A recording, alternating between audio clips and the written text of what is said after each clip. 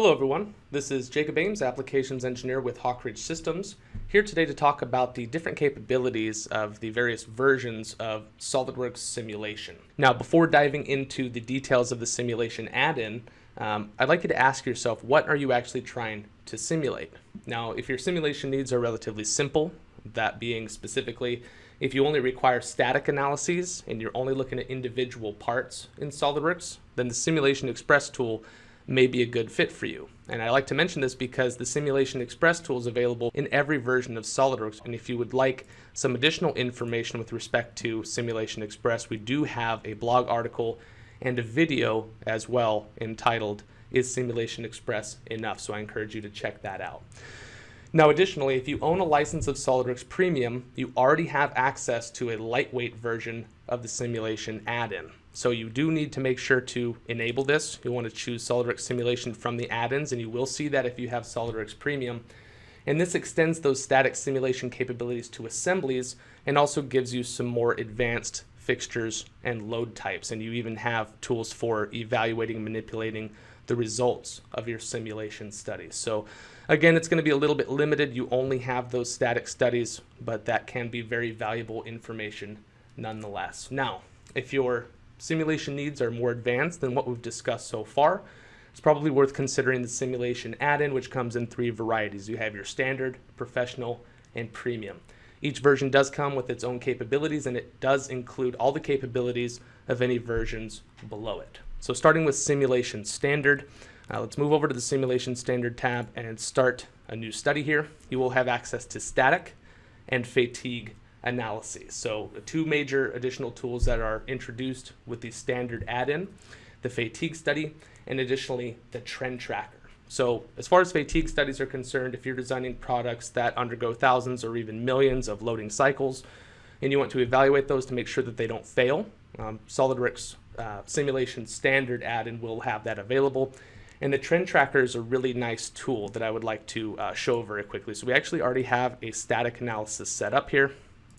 We can go ahead and view the results. You'll see I have stress, displacement, strain, and factor of safety. All of those are available. And we also have this trend tracker. And what this does is it actually allows you to perform iterative simulations on different versions of your design and then actually plot the simulation results in a line graph like so. So you can actually see how the mass has changed with each iteration.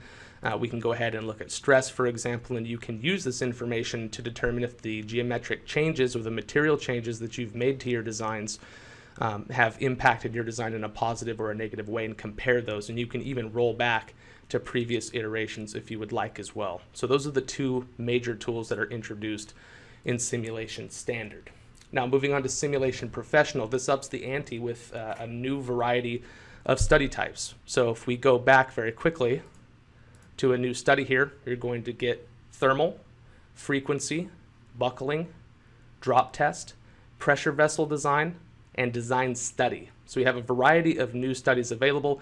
And the design study tab, or a study here, actually allows you to optimize your designs and evaluate them. So if you would like to minimize the mass, for example, um, or if you want to minimize cost, you can set variables, constraints, and goals, and SOLIDWORKS will actually do the heavy lifting for you um, to go ahead and minimize mass while retaining a constraint like a minimum factor of safety or a minimum stress. Now moving back to simulation premium, if we go ahead and start another new study here, that's where things get really interesting because at this point you'll have access to nonlinear and linear dynamic studies.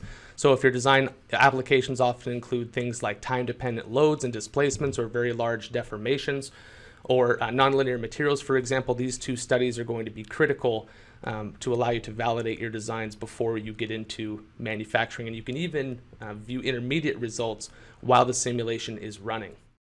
Now, if your simulation scenarios are exceptionally complex, you might consider having a look at our article on SOLIDWORKS simulation versus Abaqus. Uh, that's a nice tool as well for some exceptionally complex scenarios that may need a little bit more simulation power. Last thing I want to show here is a quick table. And I'll go ahead and leave this up for a second in case you'd like to pause the screen, but this gives you a good idea of uh, the different capabilities of all the different simulation environments, including Simulation Express and SOLIDWORKS Premium.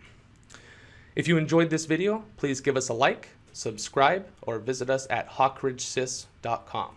Thanks for watching, and see you next time.